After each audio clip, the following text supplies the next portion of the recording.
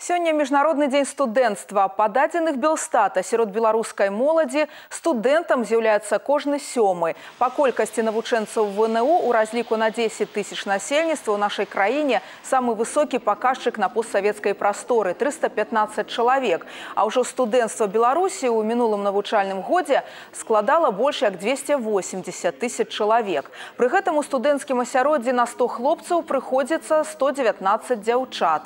Самыя папулярныя папулярныя профілі навучання, камунікацыі, права, кіравання, эканоміка і вытворчасць.